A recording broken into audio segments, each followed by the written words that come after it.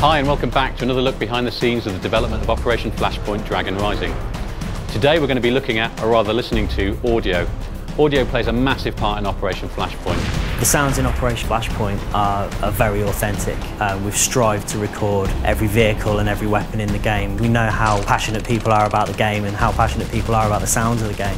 Audio element really enhances the visual aspect of Flashpoint. We've got all sorts of different ambiences that really immerse the player in the world and visuals are just one part of that. Audio plays a very big part as well. For example, when you're walking through a forest or patrolling a forest, you, you get ambient bird song and the guides have actually gone out and found um, the animals that inhabit that part of the world to make sure it's authentic. Silence can be just as important as terrific noises. As you're moving through forests, you hear the audio, you hear the crack of twigs, etc. But as well as that, some of the vehicles that we have, you can even identify what they are just from the sound that they're making. We're allowed to mic up these tanks and vehicles with many mics just to get every intricate detail of doors opening, closing, engines, interior sounds of these vehicles moving, all of which you'll hear in the game.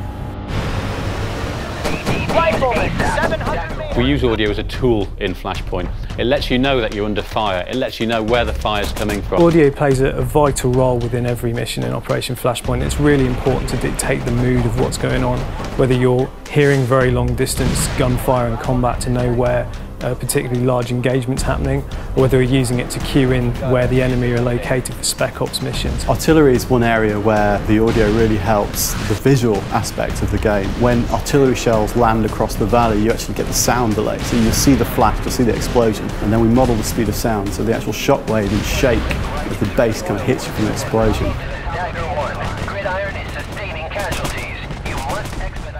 The sounds that we place within missions really do aid the player to find their way through the missions. They're going to know where a key installation is that the enemy have because they can hear it from a distance away.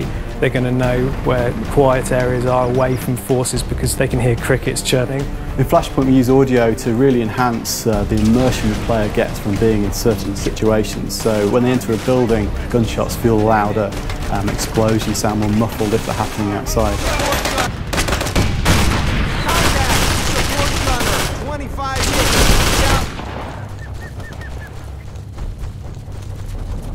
When someone's firing at you from 500 metres away or 1,000 metres away is an actual asset of that weapon being fired at that distance. It's not trickery, there's no filtering or EQ being applied.